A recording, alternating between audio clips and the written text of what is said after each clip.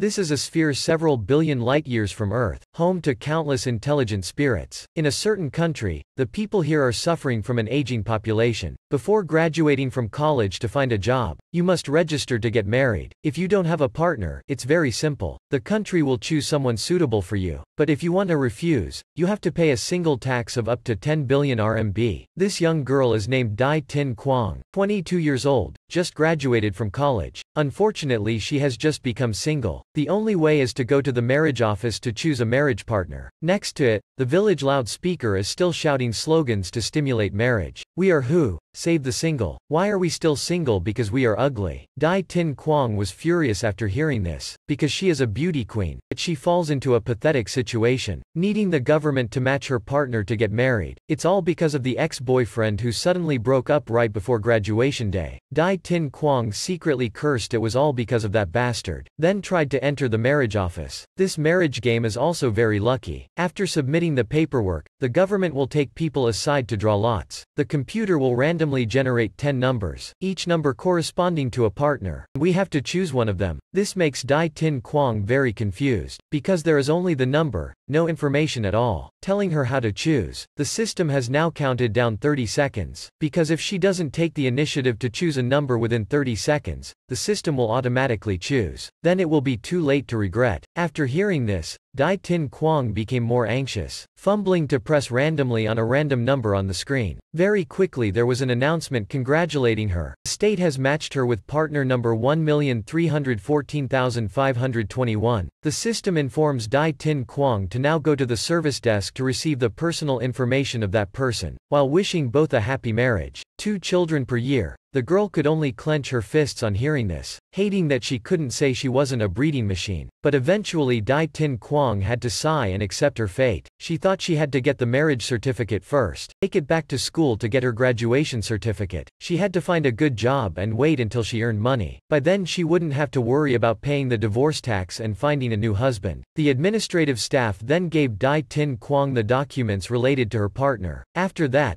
they said they would quickly bring her partner here with her to complete the procedure, and reminded Dai Tin Kwong that according to the regulations of the country, within one year she had to move in and live at her partner's house. The marriage office staff could visit the two at any time. Looking at the folder with the name Dai Quan Kin on top, Tin Kwong felt the name looked a bit familiar. When she remembered, she panicked. Because wasn't this the guy who made the Forbes list of the world's richest people? It looked like Dai Tin Kwong had won the jackpot, but in fact she was extremely afraid because Dai Quan Kin had declared that anyone who touched his brother, he would have that person dig their own grave first. Dai Tin Quang gloomily asked the staff if she could redraw. The cold administrative staff told Tin Quang not to even think about doing that. With a scrutinizing look, the staff member said she had seen so many beauties like Dai Tin Kwong who were still single. Why were they still single? Wasn't their standard too high? She was certainly still single because Dai Tin Kwong kept choosing back and forth. Even coming to the marriage office she still hadn't dropped this bad habit. Dai Tin Kwong, of course strongly objected. The reason she gave was that the person she had drawn lots for, the same surname as her, what if they were related within three generations to Dai Tin Kwong's family? That way, having children later would not be good for the fetus. The administrative staff smiled confidently, saying that this was match compatibility data that had been strictly checked, telling her to trust the state. There was no way there could be a mistake. Dai Tin Kwong still tried to change partners, and said she could pay the fine too, but the administrative staff said it was not just simply paying 10 million yuan, it also affected credit investigations. She could even go to jail. This would be a stain following her for life. She asked Tin Kuang if she thought she could withstand the consequences. Of course, this was the end of hope. Dai Tin Kuang could only cry to the heavens. In another development, Dai Quan Kin was also on his way to the marriage office. Dai Quan Kin's assistant was crying and begging him to punish himself instead, because if he hadn't forgotten to pay the single tax, his name would not have been entered into the marriage lottery system. But he said the lawyer had been informed to come to the marriage office to resolve this. He would definitely make Dai Quan Kin's partner find it difficult to back out. Dai Quan Kin didn't reply,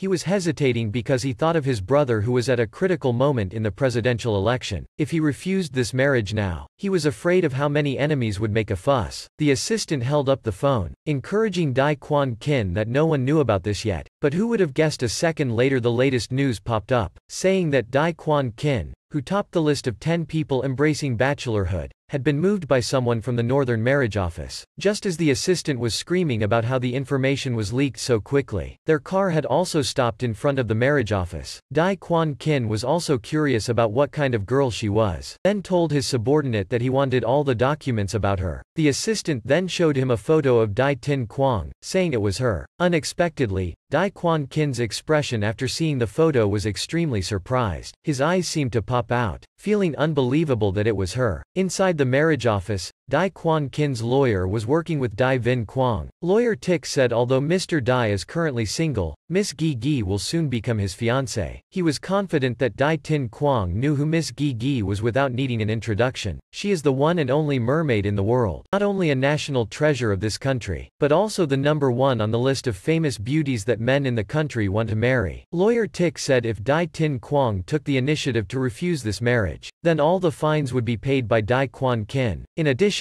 she would be compensated 100,000. He asked how she felt about this, Dai Tin Kwong felt dissatisfied. She said this was not about money. At this point, lawyer Tick began to look down on others, saying that Tin Kwong should not think that just because she grew up with some beauty she could compare with Miss Gi Gi. He ridiculed Tin Kwong as the daughter of a fisherman on a remote island. Compared to the young miss over there, they were worlds apart. Tin Kwong was now resentful. Her hands clutched her skirt tightly, a storm brewing in her heart. She thought to herself how could Miss Gi Gi be the only mermaid in the world. She still remembered that year, in order to cure her chronic leukemia, Dai Tin Kwong was born. But the Ha family had hidden her existence until she was six years old. When she was severely ill they dumped her into the open sea, leaving her to live or die on her own. They even laughed saying fortunately Dai Tin Kwong had provided bone marrow for Gi Gi before getting sick, calling her an ugly mermaid, cursing her to die quickly. Dai Tin Qua then retorted, saying what was wrong with being a fisherman's daughter. She got matched through the lottery, not stealing from anyone. Tin Kwong laughed and told lawyer Tick that the government thought they were a perfect match, giving Mr. Dai to her, telling him if he wasn't satisfied to go find the government himself. The lawyer smiled a vicious, mocking smile. He said he knew her father had a urinary tract infection, and claimed his young miss had connections with all the hospitals nationwide. If she spoke up, he feared Tin Kwong's father wouldn't be able to get dialysis if he needed it. Hearing this bastard dare threaten her father's life, Tin Kwong was furious and stood up. Just as she was about to retort more, she noticed someone had arrived. It was Dai Quan Kin. Seeing him, Dai Tin Kwong was stunned and asked who he was. Dai Quan Kin just strode forward. Even lifting her chin, he coldly stated his name. That wasn't enough, he emphasized it once more strongly, as if wanting her to remember clearly, or also to remind her. Dai Tin Kwong just felt his hand clutching her face painfully. She grimaced, then immediately backed away, yelling at him to let her go, but Dai Quan Kin forcefully pulled her back. He said Dai Tin Quang had great abilities to be able to affect him like this. Dai Tin Quang painfully denied it, saying this was just a misunderstanding, was all because of the state's allocation, she wouldn't dream of touching him. Hearing this statement full of contempt, Dai Quan Kin seemed a bit surprised. Dai Tin Quang then asked what he wanted. If he wanted her to voluntarily withdraw, there's no chance, telling him if he wanted to sign then go sign himself. But Dai Quan Kin looked at her with a terrifying challenging gaze, asking if she dared to try signing. Then he turned his head to order his subordinate to call the Civil Affairs Bureau staff over, and looked straight into Dai Tin Kwong's eyes saying he accepted the allocation. This sentence directly panicked both the lawyer and the assistant. The voluntary agreement to accept the marriage had been brought over. Dai Tin Kwong carefully asked if he was sure. Dai Quan Kin reached out to loosen his tie, smiling and asking Tin Kwong if she didn't dare sign. Of course someone easily provoked like Tin Kwong was very resentful. Why wouldn't she dare sign?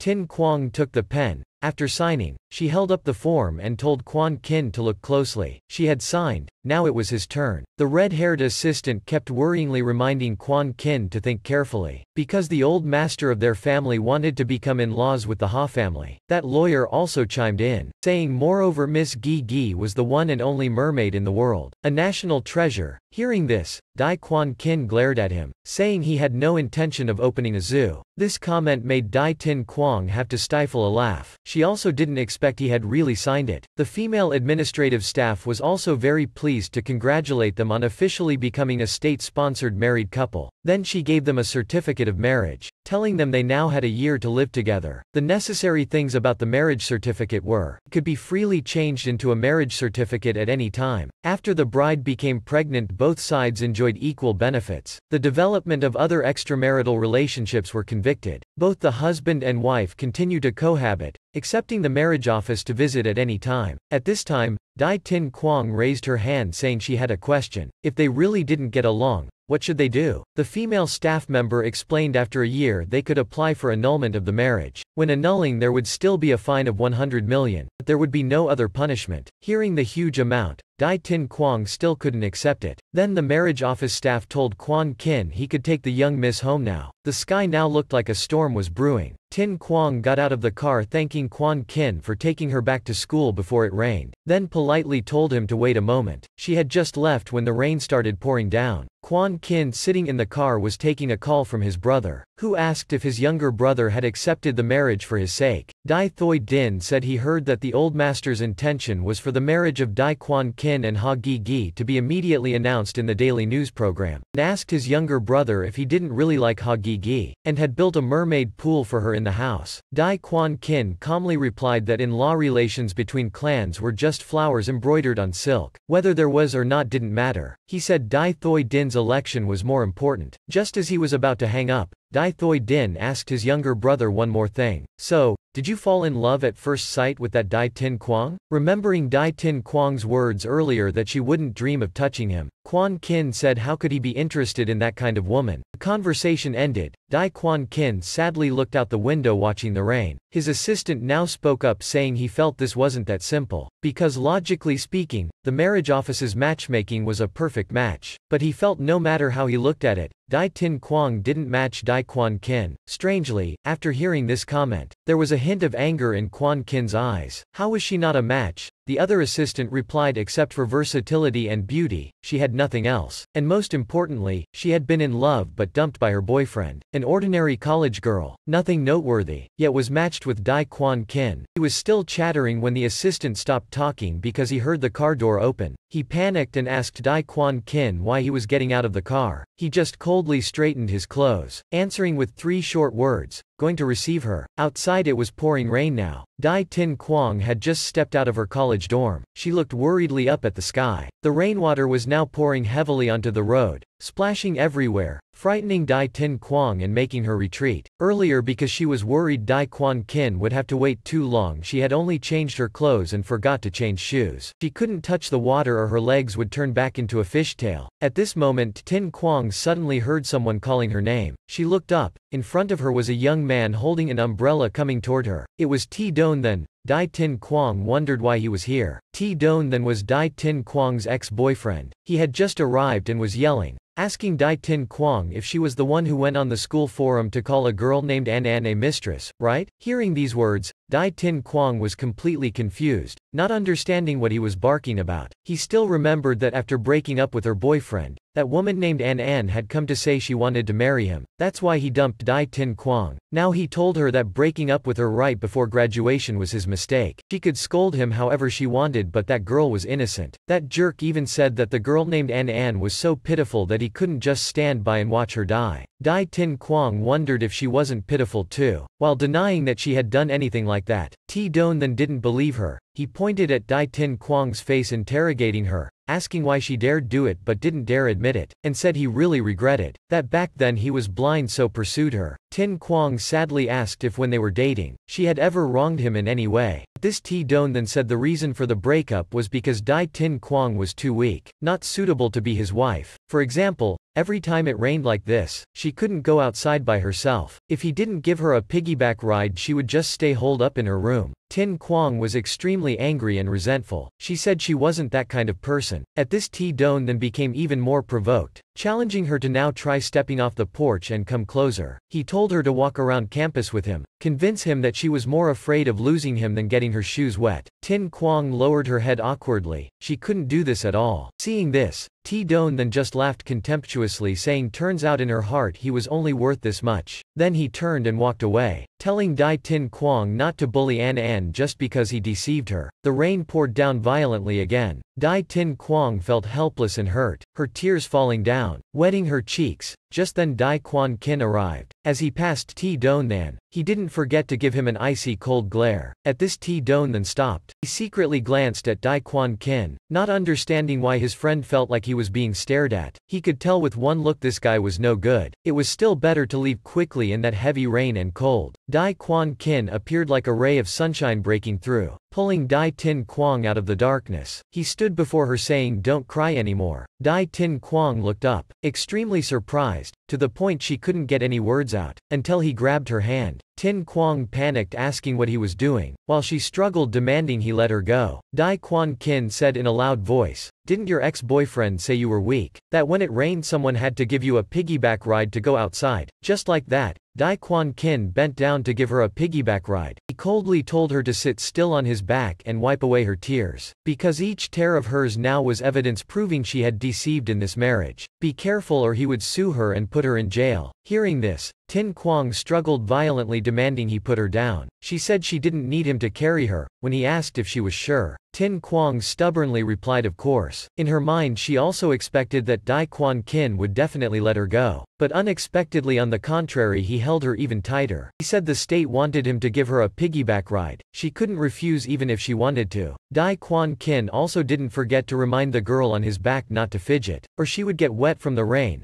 His actions from earlier had made her extremely confused. She wondered to herself could it be he was caring about her? Secretly glancing at him, Dai Tin Kuang felt from this angle he was quite handsome, just his personality was a bit annoying. After that she hesitantly said to Dai Quan Kin that she wanted to ask a question. She asked didn't he previously want her to voluntarily withdraw from the marriage. By the change of heart, Dai Quan Kin replied it was because his older brother was running in the presidential election. He couldn't let the opponent catch him in a scandal. After hearing the reason, Dai Tin Kuang blurted out, Oh I see, hearing this, Dai Quan Kin smirked and asked her, did she think he fell in love with her at first sight? At this point, Dai Tin Kwong really wanted to take back her earlier compliment. She vaguely asked him about their future. Dai Quan Kin didn't let her finish her sentence, hurriedly telling her to rest assured. He said after a year he would apply for annulment. She wouldn't face any punishment, not forgetting to coldly add, saying then he would pay the fine while she could get lost. These words left Dai Tin Kwong shocked into silence. In fact deep down she was very excited, because after a year Dai Quan Kin would voluntarily annul the marriage. After a year she wouldn't have to pay fine either. The same time she also felt she shouldn't appear too excited in case he went back on his word. After that she said firmly, assuring Dai Quan Kin that when the deadline came she would immediately leave, absolutely not bothering him at all. Dai Quan Kin didn't reply, he clearly saw her happiness after hearing she could leave him after a year. He felt she really hadn't changed. No matter how it was redone she still only wanted to escape from him quickly. At this time Dai Tin Kwang was still excitedly saying if he needed her to do anything just speak up. Dai Quan Kin replied coldly, telling her to stay far away from him. Further the better, don't affect his life again. The private helicopter took off. A new headline appeared in the news. The top bachelor has lost his spot. The mysterious Central Island welcomes another stranger. This was the Central Island of Country A. As Dai Tin Quang and Dai Quan Kin entered, Countless servants and subordinates bowed solemnly in greeting. Dai Tin Kuang was astonished. She didn't expect the mystery of the central island was actually the Dai family manor. But this was the center of power of country A, and this scene was also too ostentatious. As soon as Dai Quan Kin arrived home, he coldly told Dai Tin Kwong that she would live here from now on, then briskly strode away saying he had things to do. Dai Tin Kwong panicked telling Quan Kin to stay and introduce a little more but he had already left. At this time the housekeeper of the Dai family manor proactively said to allow him to introduce to her. The housekeeper said now Dai Tin Kwong was the spouse of the Kin family. In theory she could also freely move around the manor, except for the mermaid pool, he said that was personally designed by Quan Kin for Miss Gi Gi, telling her it was best not to casually interfere with it. Tin Quang also had to reluctantly agree. Besides, the Dai family manor had strict security, with people on duty 24-7. The housekeeper said if she needed anything she could call for people anytime, then he took his leave. Looking at the scene, both unfamiliar and dazzling, Dai Tin Kuang wondered if this was what they meant by marrying into high society was like sailing into deep waters. Very quickly, half a month had passed. That night Tin Kuang came home dejected. She was in a bad mood, it was another day she couldn't find a job. Exhausted, she threw herself onto the huge bed. She she didn't understand why when she had clearly scored high on the written interview test for Coco TV. The result was still having it snatched away by someone else. But the hiring list had that Luke An An's name on it. Today after knowing the results, Dai Tin Kwong had also angrily questioned that company why Luke An An's scores were all lower than hers, based on what did they choose her instead of Tin Kwong? but the people at the station just told her not to bother explaining further. They didn't want to explain anything more. Now lying in bed, Dai Tin Kwong could only curse that wretched Luke An An in her heart, knowing only how to rely on damned connections. She wondered if she should also find some connections to get in, but she also didn't know where to go to find connections. Looking at the phone next to her, Dai Tin Kwong remembered someone. She picked up the phone, extremely excited. She also didn't expect she finally had her own solution. She wanted to ask Han Tan back for help. He was the big brother of the media village. She had sold him the regret potion. He had said his fate had changed a lot since then. In the future if she needed help, even if it meant jumping into boiling water or flames, he would be willing to help her wholeheartedly. So Dai Tin Kuang texted him, asking Han Tan back to write a letter to Coco TV station, recommending her for a job, after sending the text, Dai Tin Kwong put down her phone. She had done all she could. Next she could only wait for news. She didn't want to think anymore. Exhausted after a whole day, she only wanted to take a bath, then rushed outside. Half an hour later, after bathing,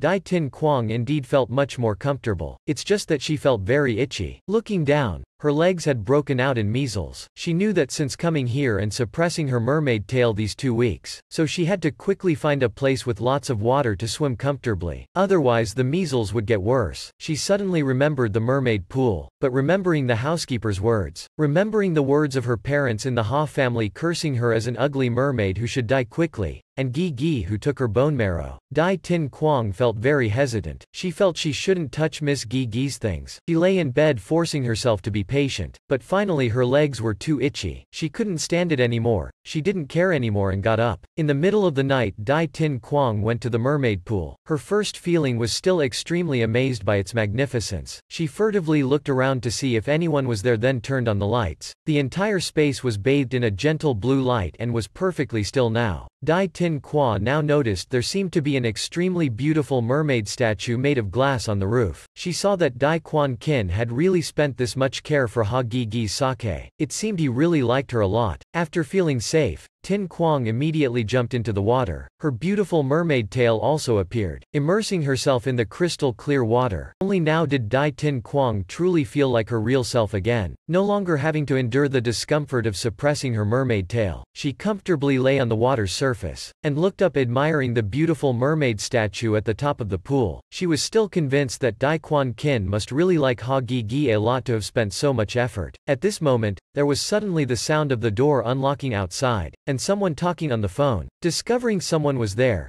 Dai Tin Kwong immediately dove under the water to hide, but it was too late because that person had seen her mermaid tail, a look of clear astonishment on their face. This was Duong Chao, the adopted daughter of the Dai family, who always considered herself a boy. Seeing the mermaid she exclaimed in surprise. Then she immediately said on the phone to KY2 that she had just seen a mermaid more beautiful than Ha Gi Gi. She had fallen in love, KY2 wearily said Duong Chao should wake up, reminding her she was a girl. Unexpectedly Dai Quan Kin also appeared now, asking Duong Chao what she was doing here. As soon as Duong Chao turned around and saw it was Dai Quan Kin she panicked tremendously. She could only stammer that she had just drank some alcohol. She had come over here to walk a bit, Seeing this, Quan Kin coldly told her to hurry back to bed, but at this moment Duong Chao pointed toward the pool in front saying in surprise that just now she had seen the pool had a mermaid even more beautiful than Ha Gi Gi. Dai Quan Kin said she had drank a little too much but Duong Chao insisted she was still very sober and handsome. She enthusiastically invited Dai Quan Kin to go with her to look, guaranteeing they would see it, Quan Kin walked closer to the pool, asking what if they didn't see anything. Duong Chao still stubbornly insisted she had seen it clearly with her own eyes. Dai Quan Kin sat by the pool, looking at the water so clear you could see the bottom. He slightly smiled then told Duong Chao to take a look herself. Where was this mermaid? Duong Chao was confused, wondering if it had been an illusion earlier. Seeing Duong Chao still stubbornly wanting to stay here and find the mermaid, Quan Kin urged her to sober up then hurry home. Behind that wall, the mermaid had gotten out of the water, hiding there in the appearance of an ordinary Dai Tin Quang. Dai Quan Kin now had no choice but to be stern, telling Duong Chao not to cause more trouble. Finally Duong Chao also had to reluctantly leave. At this time only Dai Quan Kin saw. At the back door there was a figure hastily leaving silently, restoring stillness to the pool. Stepping out from there, Dai Tin Quang let out a sigh of relief feeling it had been really dangerous. Luckily her legs were no longer itchy anymore. She had to hurry back to sleep. The next morning, Tin Quang was still sleeping soundly when outside there was the sound of loud banging on the door. She had no choice but to tiredly get up, opening the door while wondering who was banging the door so early. Standing before her was none other than than Dai Quan Kin, wearing only a thin bathrobe. Dai Tin Kwong's eyes widened, not expecting to get this kind of shock so early in the morning. Dai Quan Kin breezed past her coldly making Dai Tin Kwong flustered, asking why he had come into her room so early. Dai Quan Kin stood in front of the closet, asking Tin Quang back if this was her room, then just changed his clothes in front of her, shocking Tin Quang. Tin Quang covered her face asking if he was crazy, barging into a girl's room and stripping, but looking up at the ceiling, Tin Quang was stunned because this was exactly like the mermaid pool, this wasn't her room. After getting dressed, Dai Quan Kin told her this was his room, and asked if she had seen enough. Only now did Tin Kwong panic, only wishing a hole would open up in the ground for her to crawl into. She knew she had mistakenly slept in the wrong room. Hurrying back to her room, she buried her face in the pillow feeling extremely embarrassed and humiliated, but it seemed she could smell a special fragrance on the pillow. Tin Kwong now pictured in her mind Dai Quan Kin sleeping here last night. Dai Tin Kwong panicked, scolding herself for remembering him again. Until 10 a.m. after getting dressed she decided to step out of the room, certain that by now Quan Kin had gone to work. She was starving and wanted to hurry to the dining room. Unexpectedly as soon as she stepped into the dining room, the first thing she heard was still Duong Chao's loud voice insisting to Dai Quan Kin that she had seen a mermaid last night. Duong Chao even said she had purposely circled the mermaid pool this morning to search and had discovered a mermaid scale. Dai Tin Kwong now felt extremely worried. No wonder her legs had suddenly turned a little red last night. Her mermaid scale had really fallen off. She felt she had to hide this very carefully, not letting anyone discover this was hers. Summoning all her courage, Tin Kwong pushed open the door and entered. Smiling very innocently as if nothing had happened, she greeted everyone. Unexpectedly the only response was prolonged silence silence. Tin Kuang was at a loss but still had to sit down across from Dai Quan Kin and ask if he wasn't going to work today. At this Duong Chao said to the boy next to her that so this was his brother Kin's wife. She looked decent but Duong Chao still felt Tin Kuang wasn't a match for her brother Kin. Hearing this, Tin Kuang was annoyed, not expecting them to discuss it so loudly. KY2 was the adopted son of the Dai family, an extremely enthusiastic person, now pulled over the chair next to Dai Quan Kin inviting Tin Kuang to come sit there quickly because people from the marriage office would visit the house right now. Tin Kuang obediently went to sit, not forgetting to express surprise at the information she had just heard. KY2 told her that online there was heated discussion about their relationship, saying she couldn't obstruct brother Kin. Dai Tin Kuang also knew the results of this home visit would likely affect the percentage of support for Dai Thoi Din. She had to perform very well, but remembering Dai Quan Kin's words from yesterday telling her to stay away from him, Tin Kuang didn't know what to do, she only dared to think it but not say it aloud. In the end, just who was obstructing who. Half an hour later, people from the marriage office really arrived. They sat across from Dai Quan Kin and Dai Tin Kuang. Tin Kuang could only awkwardly smile. Next to her was Quan Kin with a face cold as ice. The people from the marriage office now said they didn't need to be nervous, just saying they had only come to investigate a little about the couple's daily life after living together. Tin Kuang felt she couldn't rely on the cold-faced guy sitting next to her. She had to take initiative and come up with a plan herself. Finally she had an idea. After that Tin Kwong exerted all her acting skills to feed Quan Kin a piece of cake, telling her dear to open his mouth. Seeing Quan Kin look at her with an expressionless face, Tin Kwong still had to force a smile gently urging him, Dear, open your mouth, ah,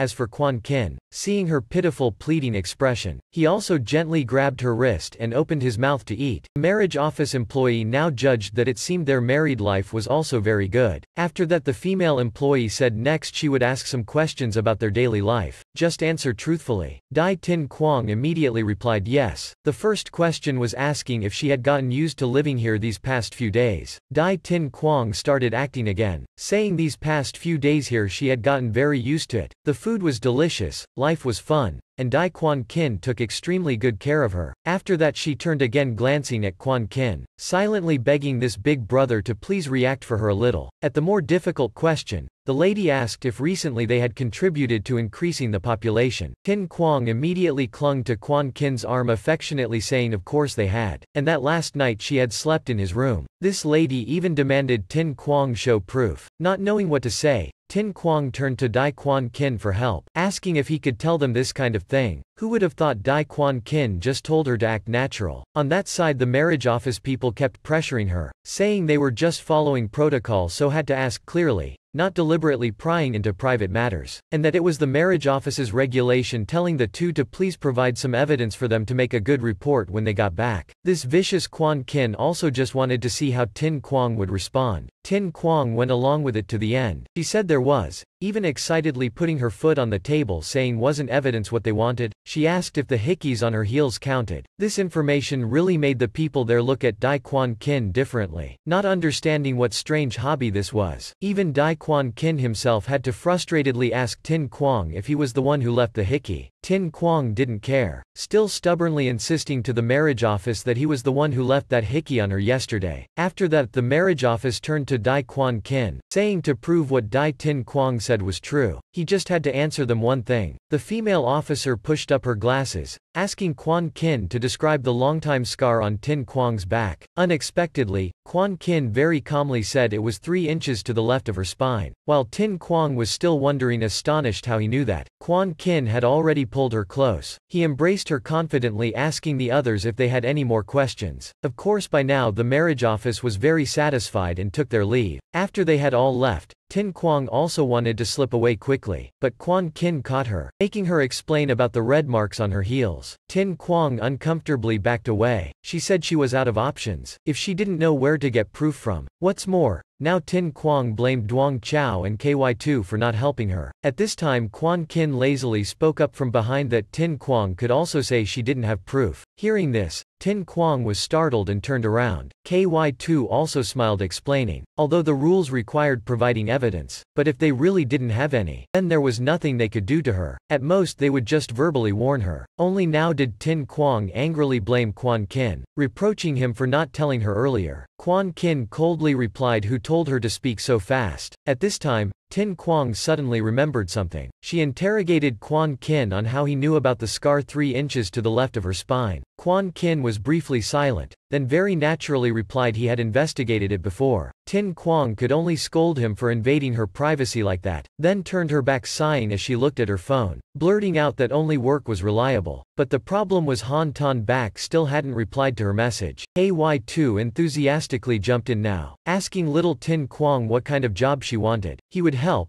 Tin Quang's wish was to find a company with high pay, good benefits. Behind her, Quan Kin just humped, saying she had just graduated yet already wanted these things. Having her itch spot scratched, Tin Quang flared up, saying she had almost been hired by Coco TV, still resentfully recounting her excellent interview results. But the spot had been snatched away by someone with connections. Only now did KY2 privately think this girl probably didn't know Coco belonged to him, while the little girl was chattering away. Behind KY2 came a cold wind. It was Quan Kin calling his name, telling him to go outside. The two men then stepped outside. At this time, Quan Kin told KY2 to quickly investigate which companies she was applying to and swiftly arrange it very well. KY2 also assured Quan Kin that Tin Quang would be hired quickly. Quan Kin's one requirement was not to tell her that he had arranged it. And asked for the reason, Quan Kin just said it was because he didn't want Tin Quang to like him. Early next morning, Tin Quang had smoothly started working at the TV station. A new beginning, a new company, she encouraged herself to try her best. Stepping inside, she very obediently bowed her head greeting and introducing herself to everyone. The seniors also welcomed her very warmly. Holding the documents, Tin Quang looked around for her seat. After a while she finally found it. It's just that Luke An An, the new girlfriend of the old girlfriend's ex, was sitting right next to her, and even raised her hand waving at Tin Quang. And of course this meeting didn't make either of the two girls happy. Both their faces were stiff and they had the same question in mind. Why did it have to be her? In the end the bitter enemies on the same narrow lane reluctantly sat down next to each other as benevolent colleagues. Luke An An started probing, asking if that day when she and Doan then had gotten their diplomas, Tin Quang went to film the marriage show, saying poor Tin Quang didn't get to witness the scene of Doan then putting the ring on her, seeing she was speaking without any listeners. Luke An An annoyedly shouted asking Tin Quang if she was listening. Tin Quang absent-mindedly apologized politely, saying to let her tend to her wounds first. Tin Quang peeled off a band-aid, sticking it on her heel where the mermaid scale had peeled off last night. At this time someone in the company suddenly shouted that on Weibo someone said the girl newly married to Dai Quan Kin suffered domestic violence. Online was a photo of Tin Quang's heel. This picture had been posted then deleted by the marriage office, so a lot of people had spread rumors that the girl suffered domestic violence. Even more unexpected was how quickly the online community ate up those rumors. After reading it Tin Quang broke out in a cold sweat, she was flustered not knowing what to do in this situation, so Tin Quang had to quickly lower her foot. This action didn't escape the eagle eyes of Luke An An. The editor-in-chief looked at the information on Weibo, not accepting that just one photo could confirm Dai Quan Kin had committed committed domestic violence. Although their company had to publish news quickly, they still couldn't post these kinds of sloppy, false articles just to get views. But the problem was the girl's identity was kept very hidden. No media could interview her to clarify the situation. Moreover, according to the marriage office's regulations, the station also didn't have the right to investigate internal news from that side. Should they have to rely on the state of that heel wound to investigate person by person? Hearing about the heel wound, Luke An An had smelled something fishy. At the same time,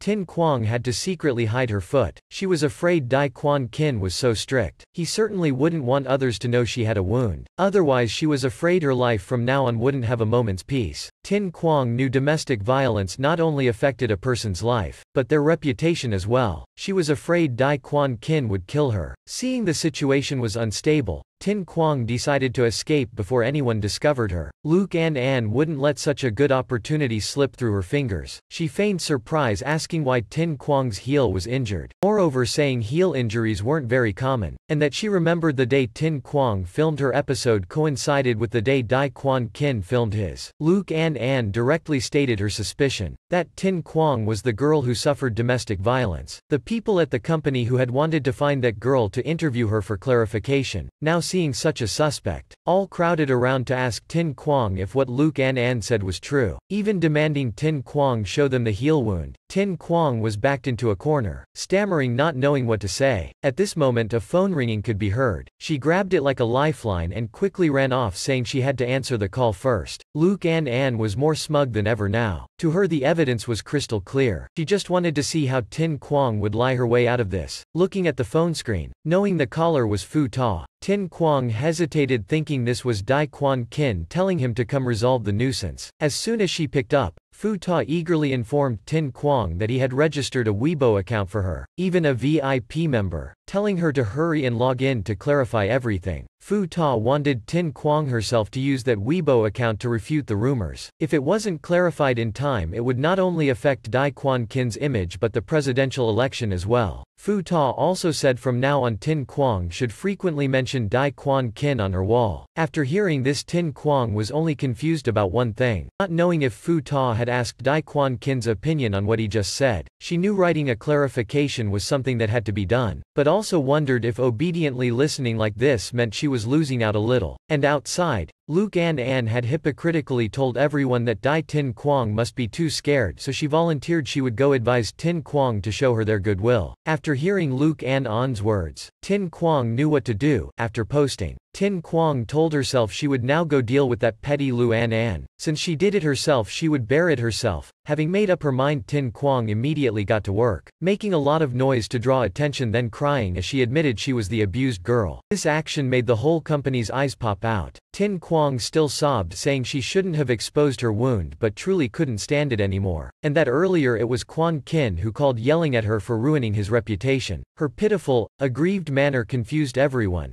They gathered around asking concernedly. Everyone was half believing, half doubting, Luke An An also came over compassionately comforting Tin Quang to stop crying. But deep down she was very smug seeing Tin Quang married into a prestigious family yet met a violent, hot-tempered husband with great martial arts. In the end only getting an empty reputation. While she was feeling smug, Someone held up their phone saying the girl named Little Mermaid had just posted clarifying everything. Luke An An shouted in astonishment. It was the account called Little Mermaid confirming the wound was a love bite, and scolded the dirty, sensationalist media, distorting the truth, Luke An An still couldn't believe the truth before her eyes. She turned her head back looking at Tin Quang, still remembering vividly Tin Quang's sobbing earlier. She had just now caught on, asking if that was the real Little Mermaid then who was Tin Quang. Tin Quang had just been waiting for this to smile in her face, saying of course she wasn't Little Mermaid. Now Tin Quang started teaching Luke An An how to work properly, saying next time she had to verify the correct target before speaking, and didn't forget to tell the supervisor that their media company couldn't did not just momentarily want to sensationally dazzle everyone and forget their original mission was to protect the truth. The supervisor of course saw Tin Quang's point so turned to remind Luke An An to be more careful in her work attitude.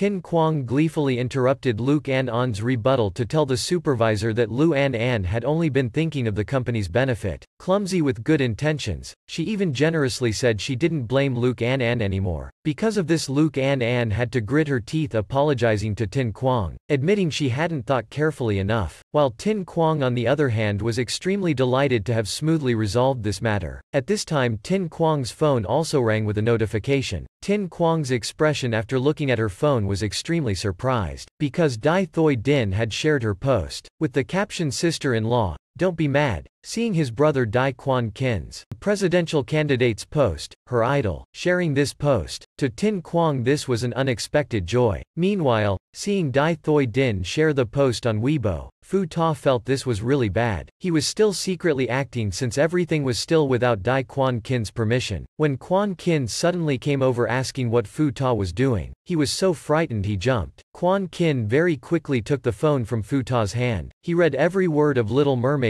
post, including her statement that he was so fond of her slender, beautiful feet. Quan Kin wasn't angry at all. He kept carefully rereading that part. Then suddenly a line of thought rushed into his head. At Tin Quang, she had asserted that even if all the men in the world died she still wouldn't like him. Quan Kin remembered, then he wondered, why after saying she didn't like him was she provoking him like this now? From Fu Ta's viewpoint right now, Quan Kin was emitting thick killing intent. Fu Ta could only carefully admit wrongdoing, defending himself that he was just worried the hot search would affect the votes so took it upon himself to register the Weibo account. Even more unexpected was Dai Quan Kin, because of those past memories, shoved the phone back into Fu Ta's hand. He coldly told him to inform the housekeeper that from now on he didn't want to see Dai Tin Quang anymore. In fact, it was because he didn't want to let her freely play with his heart anymore. That night, after getting off work, as soon as Tin Quang got home she heard she was being forced to move out and was extremely angry. The housekeeper explained she just wouldn't live in the main house anymore. Tin Quang refused. She knew this was Dai Quan Kin's intention. She demanded to see him but the housekeeper said her words words online today had angered Dai Quan Kin, and told her it was best to obediently listen otherwise she wouldn't be able to bear the consequences. Tin Quang had no choice but to resign herself. After packing up her things she dragged her suitcase and left. Dai Quan Kin also happened to just get home then, Tin Quang angrily interrogated him. The marriage pact clearly stated she had the right to live here one year, saying he didn't have the right to kick her out, but he just coldly brushed past her, ignoring everything she said. Just after stepping into the hall, Quan Kin collapsed to his knees. He painfully clutched at his heart. In his head he silently thought as expected it was today. He had anticipated everything. As for Tin Quang, she was now comfortably residing in another villa of the Dai family, her mouth still resentfully scolding Dai Quan Kin for his erratic, hard to please moods. Saying goodbye to the grievous real life, Tin Quang decided to go on Weibo to find some joy. Reading the admiring comments of netizens, Tin Quang felt they really were all of one mind. Writing more intimately would better prove her relationship with Dai Quan Kin, but thinking of his irritable attitude, Tin Quang suddenly wondered if he thought that her posting these things on Weibo would later affect him being with Ha Nian Nian. Tin Quang felt uneasy. She had to go explain clearly, avoiding that petty guy taking revenge on her. Thinking it, doing it, Tin Quang groped her way to the main house in the dead of night, but peeking into Dai Quan Kin's room she didn't see him there at all. Hearing noises from the next room,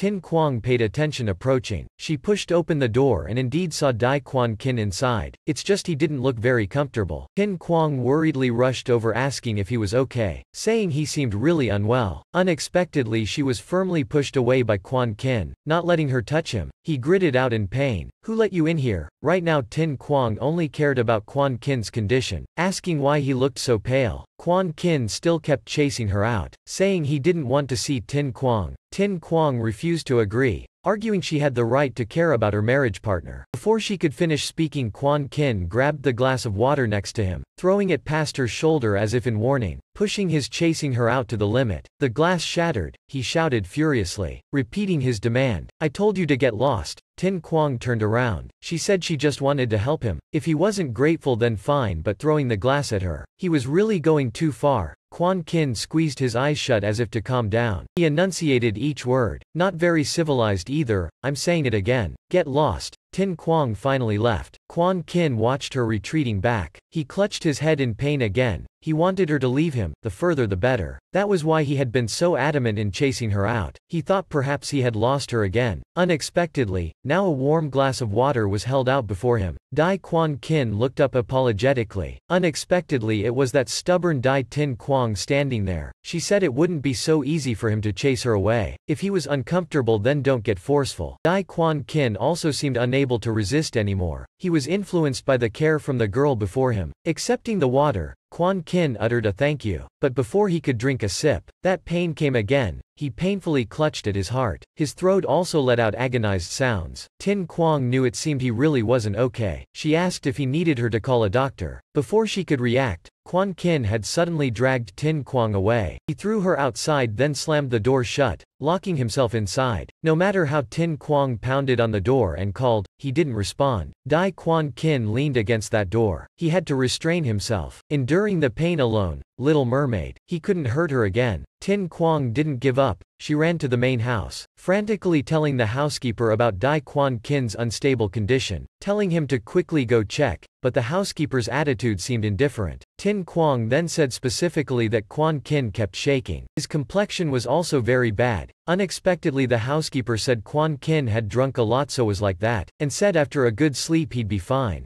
telling her not to worry, Tin Quang thought he must think she was blind. She knew clearly this guy was Bolsh asterisk asterisk asterisking. She also knew Dai Quan Kin having such a severe attack certainly wasn't pretending. She couldn't not worry. Tin Quang ran close to the housekeeper, saying if he didn't believe her then he could send people with her to go see. Tin Quang said a group of servants should come with her. They fearfully refused, she asked another group. They stubbornly wouldn't follow. The housekeeper could only threaten all day, saying Dai Quan Kin had a recurring illness, that if anyone meddled then Quan Kin would immediately deal with them, warning Tin Quang not to act rashly or no one could help her. She didn't care, just asking one last time if they wouldn't help bring Dai Quan Kin to the hospital. Seeing the answer was an uncomfortable silence, Tin Quang angrily clenched her fists. She decided to take care of it herself. Tin Quang raced desperately to Quan Kin's room. In her heart she hoped he would definitely endure. The door opened, Tin Quang saw him sitting with his head slumped in the chair, and even had chains bound around his body. The girl was stunned wondering if he was cosplaying. Tin Quang walked closer to him, about to call him awake but changed her mind. She felt she should find the keys first then decide. She rummaged at the bookshelf, opening a box she found suspicious. Behind her, Quan Kin blearily opened his eyes, looking towards Dai Tin Quang. He felt extremely surprised, it seemed his illness wasn't minor. He was even hallucinating now. Tin Quang was very happy finding the keys. Seeing Quan Kin awake she was startled into speaking. Hearing that voice, he knew he wasn't hallucinating. Tin Quang came closer, asking if this was the key to the chains. Quan Kin replied no, Hearing this Tin Quang was even more certain it was. Seeing her so stubborn, Quan Kin angrily said he warned her not to touch him, otherwise the consequences would be unbearable. Tin Quang still ambled around then said she was kin-hearted, unable to watch someone die before her eyes without helping, and so ignoring Dai Quan Kin's shouts of refusal and warnings, Tin Quang was still determined to unlock them. When the chains were opened, Dai Quan Kin collapsed, clutching his heart as if in suffocating pain. Tin Quang reached out wanting to touch him, but he shouted, preventing her. She gently asked what was wrong with him. Before she could finish speaking, Dai Quan Kin had pinned her to the floor, his hands pressed tightly on her wrists, his mouth also opened, sharp fangs nearly touching Tin Quang's neck. Tin Quang now panicked, struggling and demanding he let her go. Quan Kin lowered his voice saying he was very uncomfortable. Tin Quang didn't know what to do, she could only stare at him round-eyed. Dai Quan Kin's eyes glowed red, his fangs grew even longer, his breathing hurried as he tried again to bite her neck, but just a little more, and he had stopped himself in time his body also gradually calmed. Kin Kwong was still confused. She called his name but Quan Kin told her not to say anything, gently asking her to please help him. Tin Quang frowned feeling his weight pressing down on her. She couldn't stand it anymore and struggled to get up, hesitantly asking if Dai Quan Kin could stand up first. Dai Quan Kin now seemed unable to notice her words. He was only attracted by the hot blood flowing in the vein under Tin Quang's neck. Dai Quan Kin wanted it. He held her hand tightly, embracing Tin Quang Kuang, in this moment. Dai Quan Kin's mind only knew the craving for fresh blood. Tin Quang writhed in panic. Finally she shouted loudly Dai Quan Kin, you're hurting me. This shout made the desire in Dai Quan Kin's pupils vanish. He was like someone abruptly awakened from a dream, hurriedly apologizing to Tin Quang, and even promised not to harm her. Tin Quang placed her small hand on his face. She could only sigh, in the end still couldn't bear to see him so uncomfortable. With her gentleness, Tin Quang embraced the man before her, soothing him to sleep soon. Dai Quan Kin closed his eyes. His mood was better now, it's just he still didn't expect that girl would also voluntarily hold him in her arms. That was really good. Early next morning, the dawn sunlight shone into the large room. Tin Quang opened her eyes. She didn't know when she had fallen asleep on the floor. The scene before her made the young girl girl's heart flutter. Dai Quan Kin was still sleeping soundly, his arms still around her in an embrace, looking at the morning rays shine on the brown hair and angular face of the man. Tin Quang didn't expect he could look so gentle when asleep. This was a rare sight. Of course Tin Quang had to seize this moment. It couldn't be missed. She got up, determined to take a selfie. Looking at the rare photo in hand, Tin Quang was more excited than ever. This was precious material for her to post on the Little Mermaid account and dazzle everyone. Immediately the comment section was extremely lively. Everyone was envious of Little Mermaid, and also felt that after getting married, Dai Quan Kin had indeed become much gentler. Tin Quang took this as joyous revenge, blurting that it served Dai Quan Kin right for daring to kick her out yesterday, and even biting her too, who would have thought at this moment Quan Kin had just woken up and heard Tin Quang say he bit her, sternly asking her to repeat it. Little Tin Quang was frightened, immediately hiding her phone behind her back, while denying she was just muttering nonsense. After hearing this Dai Quan Kin breathed a sigh of relief feeling very fortunate. He had worried to the point of blowing up, lecturing Tin Quang, saying she absolutely must not bring this up as a joke in the future. At this time Fu Ta also came in. Seeing the two of them together he was rather surprised. Seeing Fu Ta, Tin Quang eagerly told him that last night Dai Quan Kin was ill. Hearing this, Fu Ta also panicked and ran over asking about his boss's condition. Dai Quan Kin only coldly replied he was fine, and reminded Fu Ta to keep quiet. Now Fu Ta whispered in Quan Kin's ear, asking why Dai Tin Quang knew about his illness. Hadn't anyone told her not to go near him? As for Tin Quang, she now knew to seize the moment, taking the chance when no one was looking to slip away, but after just a few steps her little plan was discovered. Tin Quang was caught, Quan Kin demanded she quickly tell him, who let her go to the main house last night. Facing this situation Tin Quang could only shriek in protest, saying she went there herself, was that not allowed? And said last night he was sick yet no one bothered caring. Was it wrong for her to help him? Tin Quang couldn't help scolding him as an ungrateful wretch then turned to leave. Dai Quan Kin watched her. She didn't know how dangerous approaching him last night was. He silently hoped she would keep some distance from him. That would be safer. Dai Quan Kin decided to order Fu Ta to check the security cameras, telling him to fire all the people who met Dai Tin Quang last night but didn't stop her from coming here. That night, in front of the Dai family's mansion there were many people. Tin Quang held a mic in hand, she could only sigh vexedly because just yesterday she had an argument with Dai Quan Kin, now she had to go interview his brother, she worried something would go wrong. Dai Thoi Din now stepped out, surrounded by lights and countless mics pointed at him demanding an interview. Unexpectedly behind him was even Dai Quan Kin too. Tin Quang was like she'd been struck by lightning on a clear day. Her three souls and nine spirits were like flying to the western paradise. She didn't expect Dai Quan Kin to actually come here too. The reporters now swarmed around the two brothers. Dai Quan Kin also didn't expect Dai Tin Quang to actually come here to interview his brother. At this time a reporter turned to him asking why someone so against arranged marriage like Dai Quan Kin accepted the pact with Little Mermaid. Quan Kin calmly said if the country already saw them as a married couple then he had no reason to not accept it. The reporter now remembering Dai Quan Kin's firm refusal recalled him vehemently opposing this appointed partner. Seeing Dai Quan Kin seemed cooperative, the reporters shifted the focus of the interview entirely to Quan Kin and his marriage, asking why Little Mermaid had become the exception. Hearing this term exception, Quan Kin fell silent for a bit. He gestured towards Tin Quang on the other side. Memories of the past came up,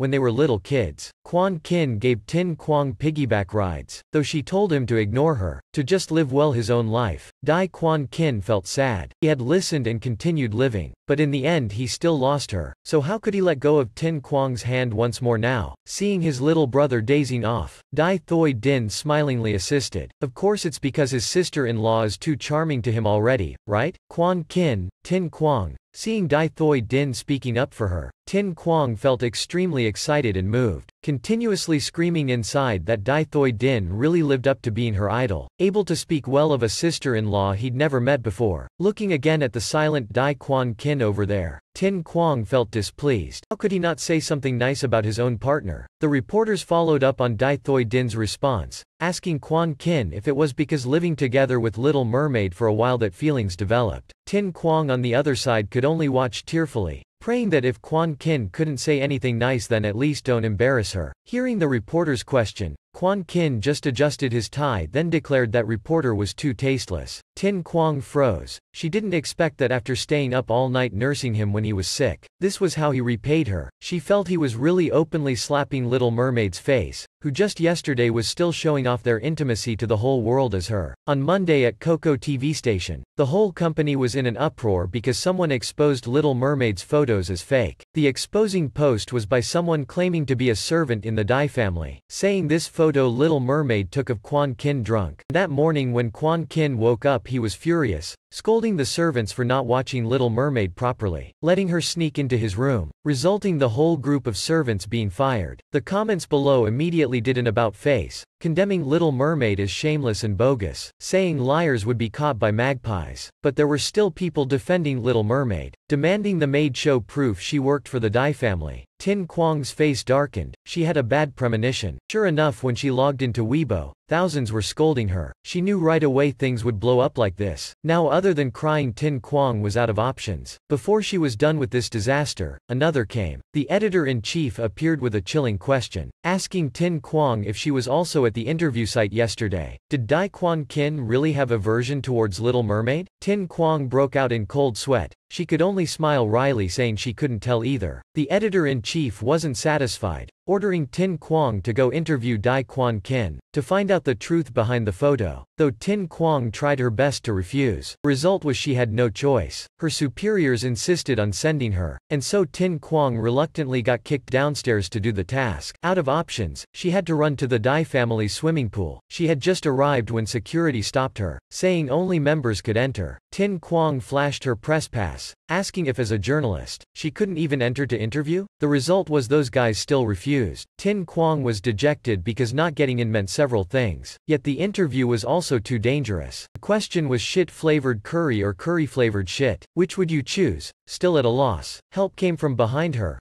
Excuse me, my friend can't get in either? Seeing the granddaddy of the media circle, young master Han Changbei Bei standing before them, those security guys had to defer. They immediately bent over apologizing to the young master then welcomed them in. Seeing him, Tin Quang was surprised. Asking if he was the one who looked for her to buy medicine, Han Changbei gestured for her to be quiet. Tin Quang remembered in the past Han Changbei was still lost, coming to find her to change his fate, and promised as long as she helped him become the Han family heir, he would give her half the fortune, who would have thought now he had realized his wish of inheriting the Han family's media empire. Walking along, Tin Quang curiously asked how he recognized her. Han Chang Bei said he wasn't an idiot. When he asked for her help he had long investigated her identity already, then asked Tin Quang to say why she had come today. He definitely could lend a hand. Tin Quang chuckled saying since he had gotten her into Coco already how could she dare ask more. Hearing this Han Chang Bei was red-faced saying that wasn't because of him. He said that he did see her message but afterward something came up so he didn't make it in time. Tin Quang felt it wasn't Han Changbei helping and was extremely surprised. If it wasn't him then could it be Coco refused her then accepted her? Thinking so, she was even more determined to interview Dai Quan Kin no matter what, to prove her capabilities. Then she put on puppy dog eyes, explaining to young Master Han that she had actually come today wanting to interview Dai Quan Kin, but he was a cold-blooded character, not just anyone could meet him. In her heart she especially feared Dai Quan Kin would strangle her to death for posting that photo without his permission permission, Han Chang Bei stroked his stylish hair, affirming it was just Dai Quan Kin so he was fully capable of helping. Then Chang Bei dragged Tin Quang dashing inside. Standing at the door of the very important people room, Han Chang Bei blithely opened the door saying he'd take her to find Dai Quan Kin. Han Chang Bei stood with arms spread like a god, loudly announcing to Dai Quan Kin that his person wanted to interview him, asking if he was free,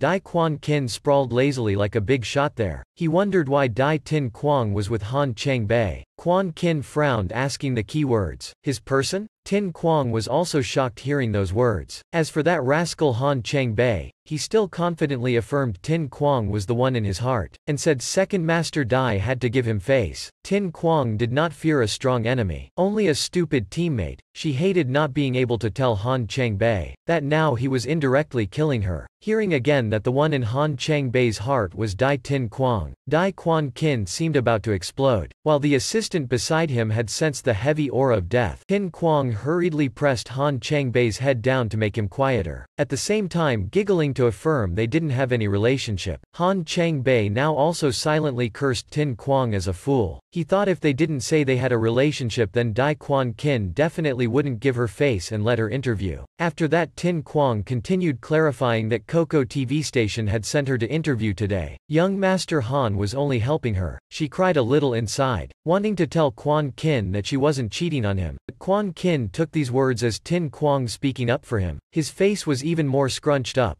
Right now the assistant whispered to Quan Kin that sending Dai Tin Quang to interview him was Gigi Shu's idea. Gigi Shu's intention was for Dai Quan Kin to vent his anger at Tin Quang for her crime of taking photos without permission. While the assistant still didn't understand why Gigi Shu was suddenly causing trouble out of nowhere, Quan Kin had already agreed to Tin Quang's interview request, just that he wanted a condition to go with it, which was Han Cheng Bei had to leave. Tin Quang felt terrible. She knew even if Chang Bei wasn't eloquent, she still wouldn't have gotten to meet Dai Quan Kin without him, so chasing him away like this wasn't good. But Chang Bei didn't want Tin Quang to feel awkward so he took the initiative to agree, saying as long as Dai Quan Kin agreed to the interview then he'd leave immediately. Tin Quang was still marveling that Han Chang Bei was a good person. She didn't expect that when he reached the door he still forced himself to act out the play, calling Tin Quang darling telling her after the interview to come watch him swim, saying he'd perform the best merman skills for Tin Quang. Tin Quang blanked, feeling the murderous aura envelop this place again. She could only smile foolishly telling Quan Kin the unrelated person had left already. They had to start the interview, but seeing Quan Kin still only focusing on those three words unrelated person, Tin Quang had to swear she was faithful. She absolutely didn't violate anything the marriage pact stipulated. She absolutely wouldn't cheat on him during this time period. Seeing it still wasn't convincing enough, Tin Quang placed her finger on Dai Quan Kin's lips and concluded that in terms of family status and looks, who could compare with him, indeed very effective, that block of ice actually knew how to smile now. Tin Quang was also stunned by that smile. Dai Quan Kin had to force himself to regain his cold pretty boy demeanor with some fake gestures, then told Tin Quang to quickly take advantage of the time. Tin Quang got to it. The first question was did he have anything to say about Little Mermaid's photos being spread wildly online? Yet Dai Quan Kin only granted Tin Quang two words. Meaningless. Hearing only that, Tin Quang wasn't satisfied, demanding he say more. But Quan Kin instead told her to give an example. Tin Quang had no choice but to feed him more, telling him to talk about how online some said Little Mermaid was shamelessly bogus, unworthy of him, and that he had to strongly refute it for her to have results to report back. Dai Quan Kin set down his wineglass. He didn't expect there were still people saying Tin Quang was bogus. He smirked replying, was he supposed to let a woman randomly take his photos? He affirmed that if the photos were posted online then it meant he had already agreed to them. As for being worthy or not. Quan Kin stated they were the best match the country had chosen, so no one would be more suitable for him than her. Still not enough, Quan Kin leaned in closer, looking into Tin Quang's eyes and affirming he absolutely wouldn't change his heart for the girl he had chosen. Tin Quang's face reddened, eyes opening wide in embarrassed shyness. She wondered if he was lying, but why did he look so serious? Tin Quang clutched her chest. Her heart pounded rapidly but remembering his past cold words, Tin Quang still thought he was just appeasing the public. She didn't believe his true love was her. Seeing the girl dazing off, Dai Quan Kin had to call out. Only now did Tin Quang jerk awake standing up. Announcing the interview was over, Quan Kin still had that cold attitude, asking where she'd go after this. Tin Quang replied she'd say bye to Han Chang Bei then head back to work. Dai Quan Kin's face was black as the bottom of a pot remembering Han Changbei's intimate words to Tin Quang. He stood up, straightened his clothes saying he'd go over with her. Tin Quang obediently agreed but truly still didn't understand what was happening. Guessing wildly, Perhaps he wanted to go swimming? The swimming pool,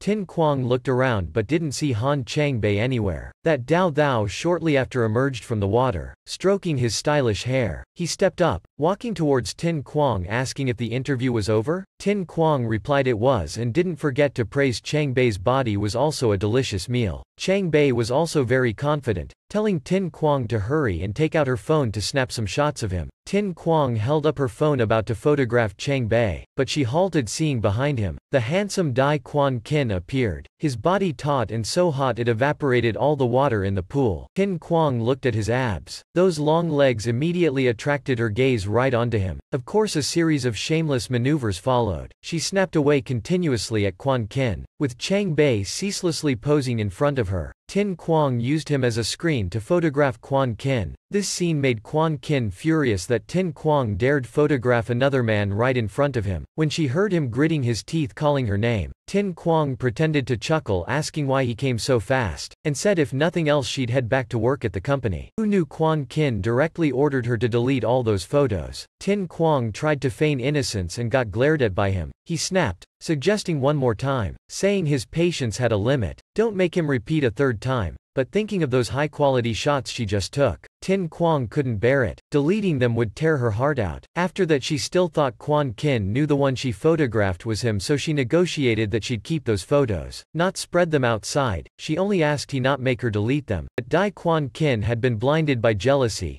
continuing to force her to quickly delete them, and even threatening in an intimidating tone that if she didn't delete them then the earlier interview would immediately be invalidated. He even crudely snatched the phone from Tin Quang's hand. Tin Quang was stunned, she truly believed the words he said earlier in the interview were just her delusions. Tin Quang bowed her head, knitted brows and a pained expression. She wondered what exactly she had been hoping for. Tin Quang took back her phone, protesting his behavior, saying they were just some photos. Did he need to threaten her to this extent? But Quan Kin still didn't concede, reminding Tin Quang to remember her own status. While the situation was extremely tense, Shan Yen Yen stepped in, smiling radiantly as she greeted Quan Kin, saying she had come to find her brother but unexpectedly ran into him. Tin Quang was still nauseated by her fake face. She had to be shocked when she discovered the one standing next to Sha Nian Nian was Sha Tai Da, Sha Nian Nian's brother. This was Tin Quang's brother. She remembered when she was thrown into the sea with abusive words. At that time everyone in the Sha family scorned her. Only her brother truly loved Tin Quang, saying no matter what she would always be the sister he cherished. He would always always be by her side but unexpectedly after that her brother went abroad to study. She was thrown into the sea, she didn't know if he had looked for her, if he was sad hearing she had gone missing. Now Sha Tai Da expressed he wanted Quan Kin to introduce Tin Quang to him. Tin Quang took the initiative introducing herself as a reporter for Coco, who had come today to interview Dai Quan Kin. When she introduced herself, Tin Quang only hoped her brother could recognize her but before anything else Sha Nian Nian butted into their conversation, even asking Tin Quang if she needed any help help from her. Seeing this, Sha Tai Da reminded Nian Nian to mind her manners, not to disturb someone else's work. But seeing the siblings like that, Tin Quang felt disheartened. She didn't know what exactly she was still hoping for here. Her brother didn't remember her anymore. Tin Quang then turned to leave, saying since the interview was over she wouldn't disturb them further. But before she got a few steps, Dai Quan Kin told her to stop. Truly a very cold, curt tone. He insisted Tin Quang delete the photos. In front of all those people, seeing this, Ms. Goody Two Shoes Shan Yen Yen Ku telling Quan Kin not to threaten Tin Quang, to talk it out slowly, then she turned to scold Tin Quang that as a journalist she should know the importance of protecting privacy. She even said that though she and Quan Kin were public figures, they still wanted private time. After singing a few lines, she turned to ask Dai Quan Kin if she was right. Seeing Dai Quan Kin give an M, she felt even more smug inside. While Dai Quan Kin still thought Tin Quang took photos of Han Changbei, he wondered why she didn't delete them. Could it be she insisted on clashing with him to the end? Tin Quang was oppressed by them together. She hated hated Sha Nian Nian for always being such a goody-goody, and silently blamed Dai Quan Kin for having such bad eyes for women. Finally under their pressure, Tin Quang held up her phone in front of Quan Kin, telling him to look closely, all the photos of him were here. Now she would delete them immediately. Quan Kin was stunned for a moment, unexpectedly kicking himself. He was stunned seeing it wasn't Han Chang Bei after all. Watching her delete the photo, Quan Kin panicked trying to stop her, hurriedly explaining he didn't mean that, but too late, Tin Quang held up her phone asking if she had deleted them all, could she go now? Quan Kin knew he couldn't do anything anymore so he lowered his voice agreeing to let her leave. Tin Quang left irritated and angry, not looking at them even once. Shan Nian Nian still acted innocent, asking Dai Quan Kin if Dai Tin Quang would blame her right? But after asking, she didn't hear a reply. Shan Nian Nian looked back and saw Dai Quan Kin, with a darkened face turning around leaving. The happiest one was Shan Nian Nian. She laughed smugly and told herself she hoped Little Mermaid Dai Tin Quang wouldn't blame her for making a move who told Tin Quang to be Dai Quan Kin's partner. Tin Quang now felt like the whole world was against her. Her brother didn't recognize her. Sha Nian Nian laughed mockingly at her. Dai Quan Kin, Tin Quang didn't want to mention him. She leaned against the wall panting heavily, blaming herself for why she believed Dai Quan Kin's words that he would be good to her. Tin Quang felt heartbroken. She knew no matter what the one he chose in the end was still Shan Yen Yen. As for her, it basically didn't matter. Finally unable to hold it in anymore, her tears flowed out even as she tried encouraging herself not to cry for someone unworthy. The mermaid's tears fell down crystallizing into bright, precious pearls. Tin Quang despairingly wondered if heaven also wanted her to return to the past, not become Dai Quan Kin's partner? That's right, Tin Quang's tears were regret medicine. Only a mermaid's tears could become genuine treasures. Han Chang Bei had used them to change his own life. Just drinking one pill could give a chance to return to the past and change fate. Just now Tin Quang had cried one regret pill. Could this be a sign telling her to hurry and eat it, and return to a life never having met Dai Quan Kin? Still hurting thinking about it, Tin Quang was suddenly pulled back to reality by her ringing phone. This call was from her father. Tin Quang wiped her tears, smiling as she talked to her father. Over there were still extremely familiar questions. Does my child still have enough money to spend? Recently you haven't called home. Is it because the TV station is very busy? Tin Quang laughed saying her boss had given her many tasks, and bragged to her father that the leadership highly valued her. Although that person was Tin Quang's foster father, he was still the one most reluctant to see her cry in this world. How could Tin Quang tell him she was being bullied by Dai Quan Kin? After urging his daughter to take care of her health for a while, Tin Quang's father changed the topic asking if her partner wasn't treating her well, only now did Tin Quang startle. She had been afraid to worry her parents so didn't mention Dai Quan Kin. Tin Quang had no choice but to vigorously affirm he treated her very well. Seeing her daughter wasn't suffering any grievances, Tin Quang's parents also felt at ease, but still wanted to tell their daughter that no matter what they would always be her steadfast support, urging their daughter that if he bullied her to tell her parents, they would immediately vent anger for her. Tin Quang's tears streamed down. She kept her voice steady, telling her father she had to hang up first because an interview was coming up. After ending the call with her father, her heart was even more chaotic. This was the path she had chosen, and even made her parents worry? Could this be the meaning behind the appearance of the regret pill? Just as she was about to put the pill in her mouth, Han Changbei popped out from somewhere startling Tin Quang and making her drop the pill. The regret pill fell to the floor. Rolling around, Tin Quang could only angrily say a few words telling Changbei next time he called her he didn't need to get so close. But Changbei noticed that regret pill. Seeing Tin Quang crying, he asked who had just bullied her. Tin Quang stiffly denied saying no one. Han Changbei of course didn't believe it. He knew for sure Tin Quang was oppressed by someone so wanted to take the regret pill. Tin Quang was tired of the questions and decided to leave this place. But Han Changbei knelt on the ground clinging to her legs, crying and asking why she wanted to take the regret pill. Could it be she wanted to erase him? Erase their acquaintance? Changbei said he wanted to become the man in Tin Quang's heart, to make her never forget him. After a few seconds of wailing, Han Chang Bei sprang up like a spring, grasping Tin Quang's hand pulling her along, saying he'd vent anger at anyone who bullied Tin Quang. Han Chang Bei and Tin Quang hand in hand immediately ran into Dai Quan Kin. Seeing this, Dai Quan Kin was furious. Tin Quang also quickly retracted her hand, bowing her head not looking at anyone.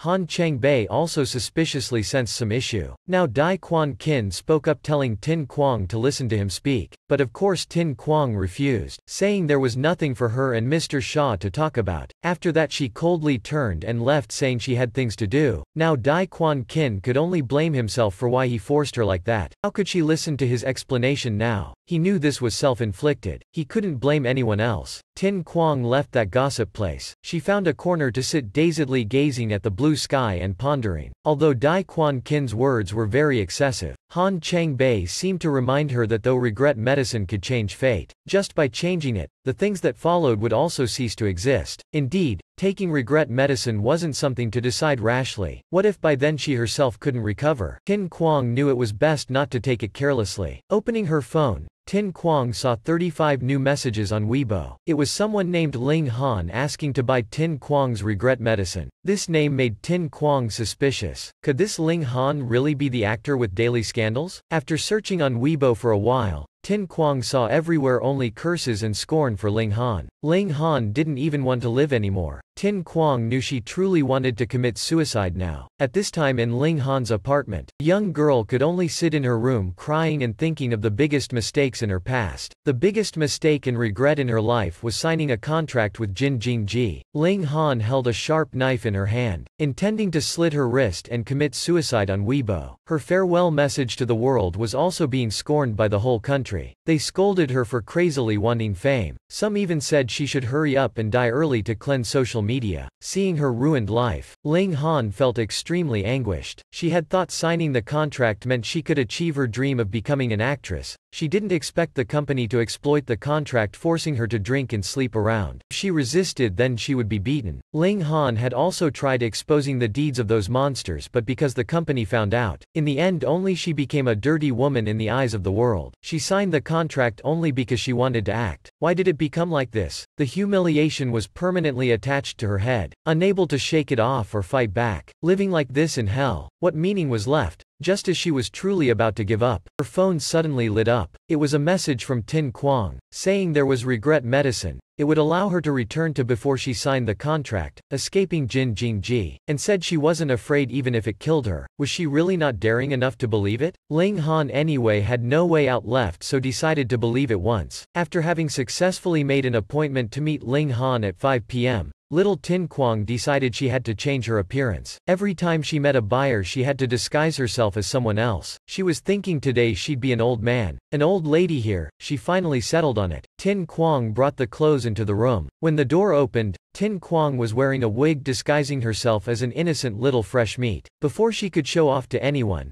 Tin Quang had already received a handsome compliment from Han Bei who popped out from somewhere. It turned out Han Bei was afraid Tin Quang would be angered by Dai Quan Kin to the point of not thinking straight, so appeared here intending to comfort her. Tin Quang strode forward, saying now she had to be busy selling regret pills so had no time to play with him, but after hearing that reason, Han Bei insisted on following even more. Tin Quang threw him a look of contempt, hatefully asking if young Master Han was that free. But Han Chengbei was indeed a thoughtful adult. He said he precisely wanted to help her, because with that innocent teenage boy appearance, customers definitely wouldn't trust her. Moreover, to buy her regret pills one had to donate half their assets to the Bak Dai Medical Research Institute. Han Changbei said honestly he felt Tin Quang was like a scammer eliciting donations for that research institute. But Han Changbei affirmed that if he went along as her secretary, then her credibility would surely increase. Because his face was the highest guarantee of credibility, Tin Quang reconsidered and also thought he was right. She accepted him following along with one condition, no foul language. Han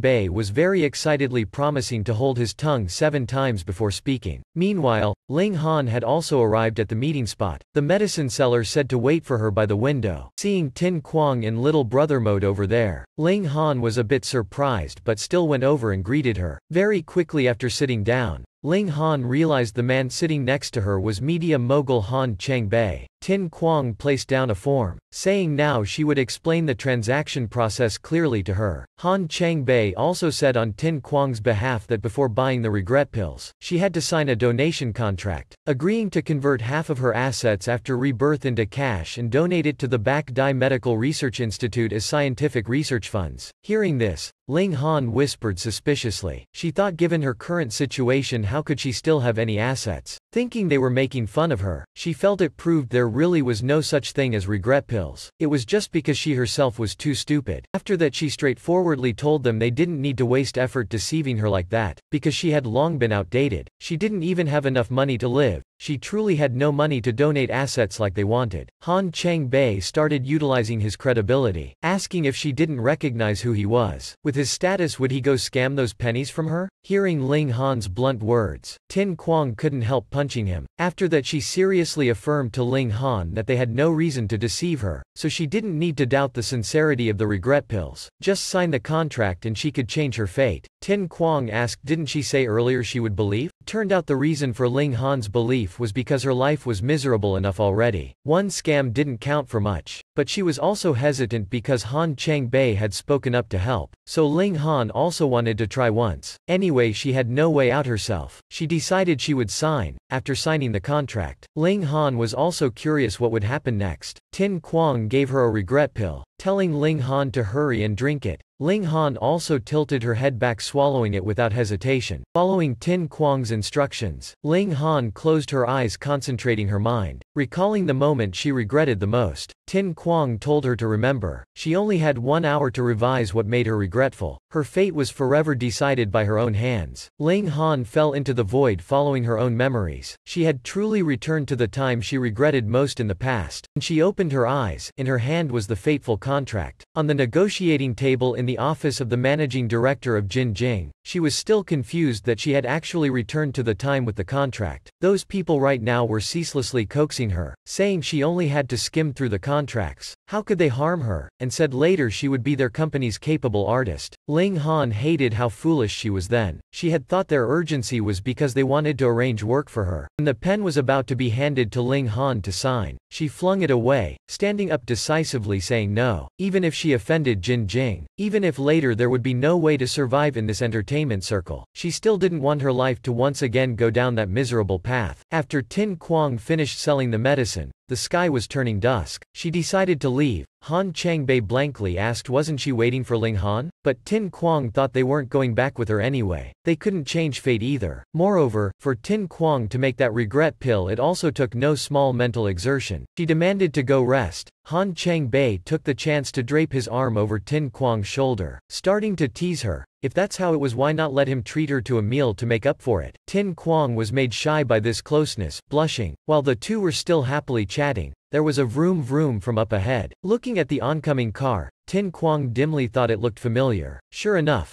Dai Quan Kin had stepped out of the car. As soon as he saw Han Cheng Bei, he knitted his brows unpleasantly. Tin Quang was also secretly wondering why she kept running into Dai Quan Kin everywhere, guessing he was about to say she violated their engagement again, while Han Changbei still clung tightly to Tin Quang's neck, even teasing why did Ergoxia's face look so unpleasant as if he had been cuckolded. Tin Quang could only painfully look at Han Changbei, he really didn't know how to control that mouth of his. Dai Quan Kin didn't reply, but still arrogantly strode forward, answering Han Changbei's taunt with a face-breaking punch. While Han Changbei cursed holding his face behind, Dai Quan Kin dragged Tin Quang away like that. He even stopped and looked back telling Han Changbei a domineering line, She's mine. Tin Quang was thrown into the car forcibly, despite Han Changbei cursing Dai Quan Kin for being shameless. The car sped away, Tin Quang sat curled up silently in the car. Beside her, Dai Quan Kin looked at the bouquet in his hands. He didn't know how to open his mouth to apologize. On the other hand, Tin Quang silently caught her breath then started making a fuss asking the assistant to stop the car and let her out or she'd report them for kidnapping. The assistant still didn't realize it was Tin Quang and gently consoled the little buddy. To watch his words, in his heart the assistant wondered where this beautiful teenage boy came from. Why did Dai Quan Kin do so much for him? The assistant suspiciously thought could that aspect of the Shaw family have issues? He felt he truly couldn't understand his boss. Didn't he still go crazy today looking for Tin Quang? Then even bought flowers for her. Now Dai Quan Kin pretended he didn't know anything and glanced at Tin Quang asking if she was a girl right? Tin Quang was shocked, not expecting that even in men's clothes she was still recognized by him, but in for a penny in for a pound. She still insisted clutching her male identity saying Dai Quan Kin shouldn't think money allowed him to kidnap others forcibly. She even used this excuse to say she wasn't interested in men, especially the type of underdeveloped, brainless men like him. Seeing this boy's mouth going too far, the assistant angrily yelled but who knew defending his boss only got him shushed by the boss, even threatened that if he was violent with that little fresh meat he'd be kicked off the car. The assistant could only resignedly obey.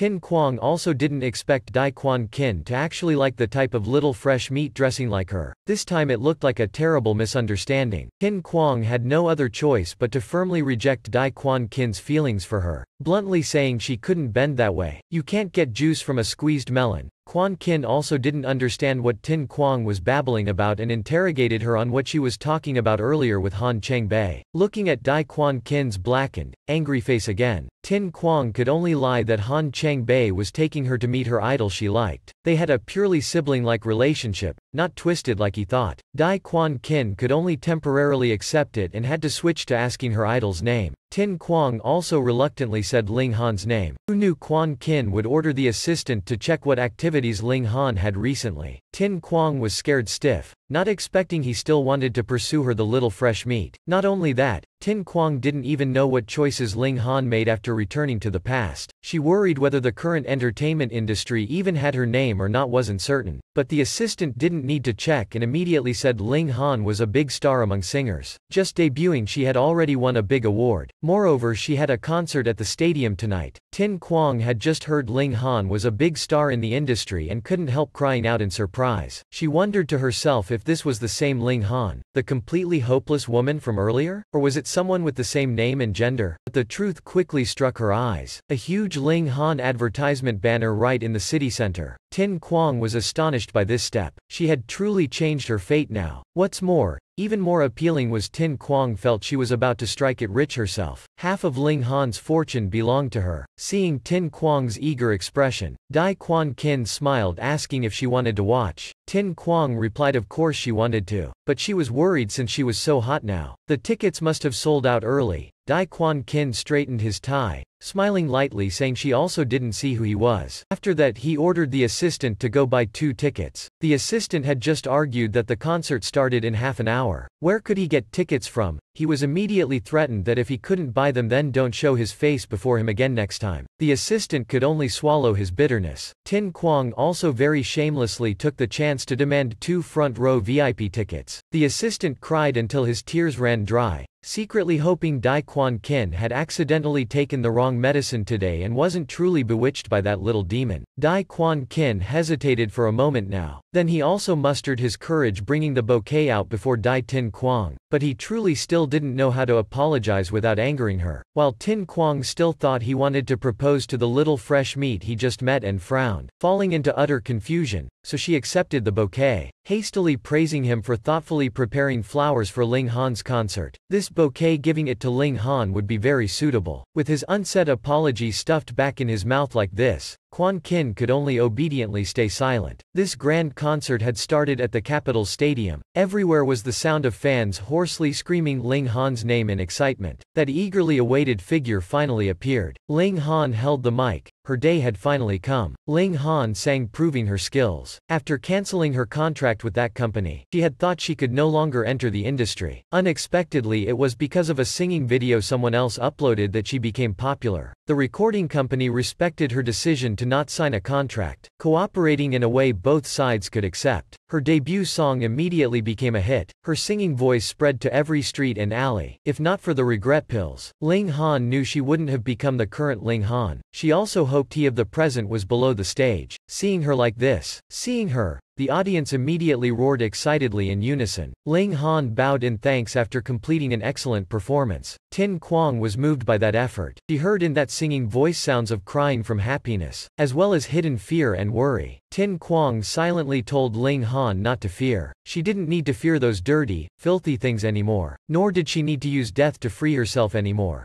Clutching the bouquet tightly, Tin Quang rushed onto the stage, shouting Ling Han's name loudly. Ling Han seeing the boy who sold her regret medicine was also equally surprised, more than the surprise and being moved. His gratitude, Tin Quang embraced her saying words of congratulations and encouragement, everything was just a dream, try to seize the present, enjoy your new life. Now Ling Han could rely on the chance given by heaven, try living on, shine brilliantly. Returning to her original spot below the stage, seeing Tin Quang crying her eyes out, Dai Quan Kin felt confused, but then he also smiled handing her a tissue to wipe her tears. After that he asked a question expressing his confusion, wasn't it just an idle crush? Did it warrant crying like this? Tin Quang immediately bristled retorting. She said this was very touching. Someone born with a silver spoon like him definitely wouldn't understand. At this time a slice of pizza was placed before Tin Quang. Tin Quang was of course surprised not knowing where Dai Quan Kin got it from. It turned out he had just ordered the assistant to buy it, knowing she hadn't eaten dinner, now she must be hungry. Tin Quang also had no choice but to give in to delicious food, chewing while secretly opining that indeed only men could make Dai Quan Kin attentive like this. Though she also thought Dai Quan Kin had reason for his irritable temper towards her. A marriage partner chosen by the government couldn't be as good as choosing yourself. Agreeing to live together with her was fortunate already. After thinking this, Tin Quang sulked deciding not to eat anymore. Even when Dai Quan Kin pretended to say he'd throw away the leftover pizza, she didn't care at all. He didn't know what she was thinking in her heart, only blankly looking at the pizza box then accidentally seeing the message on the box lid. There's a kind of happiness, that is sharing the same slice of pizza with a friend. Quan Kin froze, unconsciously placing his hand on those two words happiness. He thought of his own happiness, then turned looking at Tin Quang smiling beside him. That was his present happiness. It was very very late when the concert ended, Tin Quang knew she had to leave, afraid that if Dai Quan Kin discovered she was pretending to be little fresh meat he would punish her. Thinking to do it, muddled Tin Quang thanked Quan Kin for taking her to see the concert then said she had to go first now. Of course Quan Kin wouldn't let her leave so easily. He immediately grabbed her wrist then pulled her toward him, smiling as if seeing through everything, calling her name Dai Tin Quang,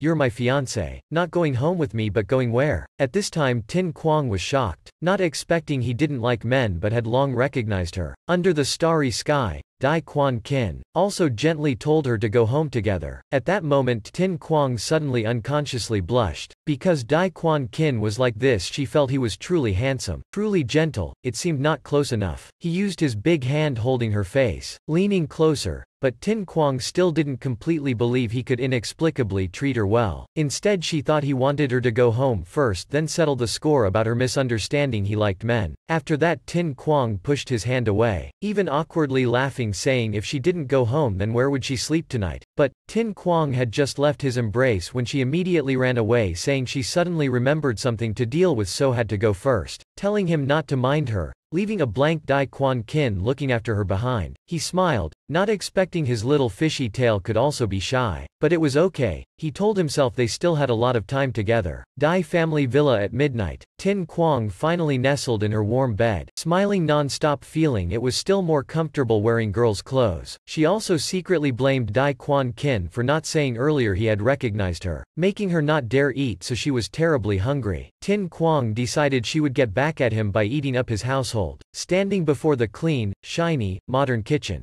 Tin Quang felt it was fitting of a tycoon's home. She was also very curious opening the fridge door. Of course she was immediately overwhelmed because it was all premium goods. Finally Tin Quang decided she'd choose this top-grade Kobe beef box. Very quickly she successfully made a dish. The fragrant steak was caught by Dai Quan Kin before it reached her mouth. He even sneered asking if that was a dish she made? After Tin Quang's admission, the plate was shamelessly snatched away. Dai Quan Kin happily swallowed it but regretted it immediately after, not expecting it to be so hard to eat. Hearing Tin Quang ask if it was delicious, although Quan Kin had never had to put something so hard to swallow in his mouth before, before, but in order to avoid hurting Tin Quang he had to hum and obligingly praise it. After that he swallowed his bitterness and finished the whole plate, seeing Tin Quang making him pay. Finally Dai Quan Kin also had full reason to cook for her. He even told her to hurry and take out her phone to record it as proof to provide the marriage bureau. Because they originally had the rule that during the cohabitation period he had to make her a dish, Tin Quang could only dryly laugh when hearing his motive, so it turned out it was only to deal with their cohabitation. She then pressed record. Seeing this posture, Tin Quang still doubted could he actually cook. Quan Kin cooked while teaching Tin Quang, saying she couldn't just cook beef to make steak. It needed to be seasoned first then make the sauce. Finally put it in the pan. Tin Quang didn't expect he actually knew how to cook and asked where he learned it. Quan Kin didn't reply, because the truth was he learned for her. The time in order to let his little fish who was sick eat the best dish he had practiced for a very long time. But who knew his intentions would be rejected by her. She even said even if she starved to death she wouldn't eat what he cooked. Although now he was determined to distance himself from her, he still couldn't do it. Tin Quang was still innocently filming. She also casually calls him darling akin, saying she is very happy to eat the food he cooked, and even proactively hugs him from behind and says thank you. Quan Kin accepts even if this is him finding misery or boredom, but at least he can see her smile. He thinks the price tonight is very worthwhile. The hot beefsteak fresh from the oven. Looking at the fragrant dish on the table, Tin Quang feels it looks very delicious, but she hasn't eaten yet because she feels a love show can't be missing this. She points the camera at Quan Kin, Tin Quang calls out Darling Akin, can you feed me? Quan Kin shyly blushes red, stammers asking Tin Quang what she just said. Tin Quang still coquettishly insists, saying she is still filming so how can she have hands to eat the beefsteak? Just this once, can it be? My love, hearing this my love, yes, Quan Kin softens, course he can't refuse. He takes a small piece of beef and gently feeds Tin Quang, making the girl blush red, seeing the atmosphere is so awkward. Finally can't stand it anymore, she pushes him away. Stopping the game here, she awkwardly said no more filming since there was enough footage already. The whole room fell silent. Dai Quan Kin frowned, Sinister Tin Quang just told him to put the plate down, she had to check the video first before eating, but looking at the menacing aura behind his back, Tin Quang felt a chill down her spine, she thought she was done for this time, perhaps because she had ordered him around too much earlier so now he wanted to settle scores with her. Finally Tin Quang had to surrender first, admitting she was wrong to deliberately order him around earlier. She made excuses that if they weren't intimate, she was afraid the marriage bureau would think they were staging it, and asked him to be big-hearted and forgive her for this little thing. But remembering Tin Quang's coy, sweet words from earlier, Dai Quan Kin got angry. He asked her if that kind of thing from earlier was small. Dai Quan Kin felt hurt. He felt like Tin Quang had taken advantage of his feelings and trust to act out those fake things earlier. He coldly snorted then bent down praising her very skilled acting. Had she been this intimate before, with who, Han Changbei, embarrassed Tin Quang could only keep protesting. She even told him that later they still had to deal with the marriage bureau a lot, telling him not to immerse himself too much like that. But Dai Quan Kin didn't care about those words. He grabbed Tin Quang's chin. His jealous eyes interrogated her, so it meant she really had been intimate with Han Changbei? Tin Quang angrily shouted, she said so what if she had been, as long as people didn't find out during the cohabitation period it was fine. But Dai Quan Kin didn't accept that reasoning. Using the excuse that she was his fiancée for one year, he demanded she not think of other men, otherwise he would accuse her of romantic intentions with an outsider and throw her in jail. Tin Quang pushed his hand away resentfully, cursing that she also had someone she liked but he kept forcing that crime on her. After that she firmly grabbed his collar warning him that during the co cohabitation period he was also her man. Aside from her he couldn't like anyone else or she would also report him. After scolding him around, Tin Quang brought the steak upstairs to eat, while Dai Quan Kin, after being scolded around, felt life become rosy. Touching his collar, remembering Tin Quang's words that he was her man, Dai Quan Kin was elated but at the same time remembered Tin Quang had also said he liked someone else already. Dai Quan Kin secretly cursed which bastard dared spread lies to make his little fish misunderstand. After that he immediately called the assistant. The assistant couldn't even sleep peacefully, receiving orders to investigate who recently created random rumors about him. After hearing it, the assistant immediately thought of Dai Tin Quang. but of course it couldn't be her so Quan Kin looked into who else it could be. He even made him list the people who had interacted with Dai Tin Quang. daring to reside in the heart of my woman, looking to die? The next morning, Tin Quang walked into the TV station sleepy, but very quickly after she was startled awake by everyone's attitude. Everyone was staring at her intently, and they were all leaders too,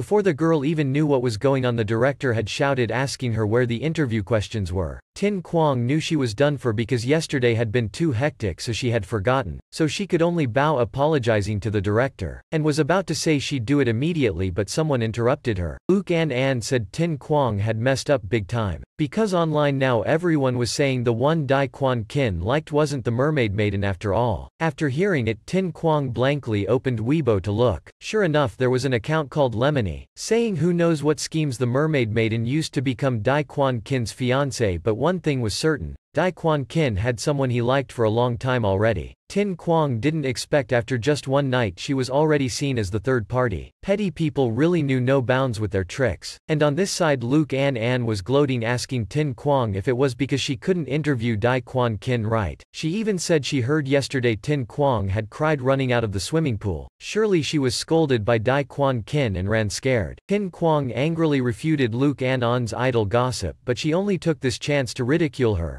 Finally this chaotic verbal fight was angrily stopped by the director. He held his head in despair because now even if they uploaded the interview it would be too late. It could only be seen as Dai Quan Kin's lies. Moreover, unless the company had proof of Dai Quan Kin cohabiting with that mermaid maiden. But this was very difficult since the two of them didn't want to film their private life either. Seeing it still wasn't chaotic enough, Luke An An said more that this time could be counted as a blessing in disguise for Tin Quang. Oh she said if the interview was uploaded. On the contrary it would be useless and anger Dai Quan Kin. At that time all of Coco TV would also be implicated by Tin Quang. Surrounding Tin Quang were many criticisms, saying she was a new person who couldn't handle the job. Her work attitude was also problematic. Tin Quang blanked. She also knew because she didn't record the interview she would definitely make up for this mistake. After that she raised her hand stopping the discussion and criticism here. Tin Quang said she still had exclusive material, more important than a recorded interview. In her heart she secretly thought it was fortunate she had recorded that last night. Seeing the full video of Dai Quan Kin gently being intimate with his masked mermaid maiden wife, everyone in the company was elated. Tin Quang also took this chance to explain, defending that not submitting the recording was wrong but she truly didn't give up on the interview. Of course after seeing the exclusive video the director highly praised Tin Quang, encouraging her it was okay. Anyway this video was worth dozens of times more than that other interview, so now they had the material, this whole Coco company would seize the time to edit the video then release it to show Dai Quan Kin and the Mermaid Maiden's intimate affair. The director even loudly ordered Luke An An to go do menial work instead. That girl's face immediately stiffened. She wondered what was the basis for Dai Tin Quang to find fortune in disaster, accomplish greatly while she had to be an errand boy. Oh she of course was unwilling.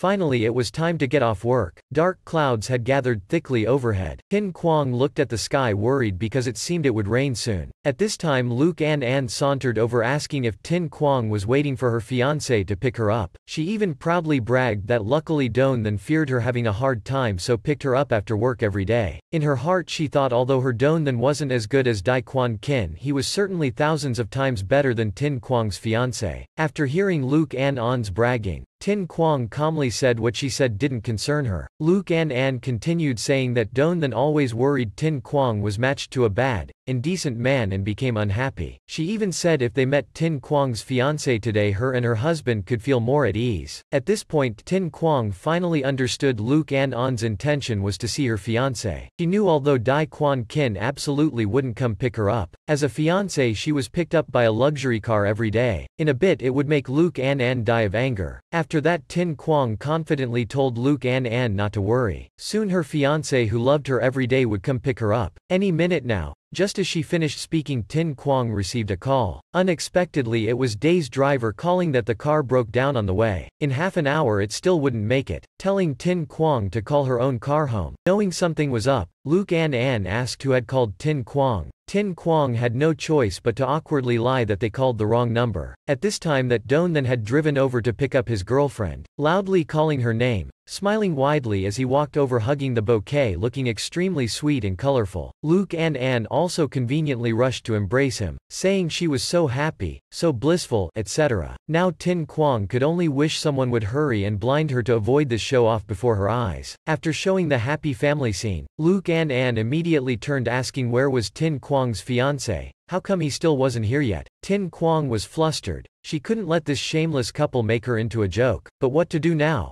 Tin Quang was extremely anxious. She thought to herself should have booked a better car. On her phone the Daohua car service was still making her wait. On that side Luke An An coquettishly said to Don Than that Tin Quang told her, her husband treats her very well. Doan then was just as fake, pretending to be overjoyed saying it seemed Tin Quang had also attained happiness. So great, scheming back and forth like this. Tin Quang felt these two people really were a fake couple. After that she awkwardly smiled telling them her husband was stuck in traffic on the way, telling them to go first. Actually it was rush hour so no driver accepted the ride. She didn't expect these two to look forward to ridiculing her this much. Wanting to drive them away was hard, Luke An An was elated, she thought it was more like Tin Quang didn't dare let her husband be compared to Don Than, still not knowing where this would go, in front of them rang a loud brake screech. A lush golden Mercedes appeared. The driver in the car got out opening the door and bowed inviting Tin Quang in. Outwardly Tin Quang was silent but inwardly she was very shocked. She wondered whose car this was that was even more astonishing than Dai Quan Kin's car could it be a driver had accepted the request after all? As for these two's faces, not a drop of blood remained, only able to gape like a dog watching others fight, unable to believe Tin Quang had really married an ultra-rich man. In this situation Tin Quang also decided to recklessly get in first then figure it out later. After that she said with a victorious smile, bidding them goodbye arrogantly as she got in the car, leaving Donethan and Luke An An to share in a bellyful of anger. Tin Quang stepped into the luxurious car, having just stuck her head in she was about to ask if this was the car she booked, but she immediately froze seeing the person inside. Outside the driver had closed the door for Tin Quang. At gossip Luke An An was still desperately running wanting to see her husband's face. Tin Quang had no choice but to tell the driver to hurry and go. The car left,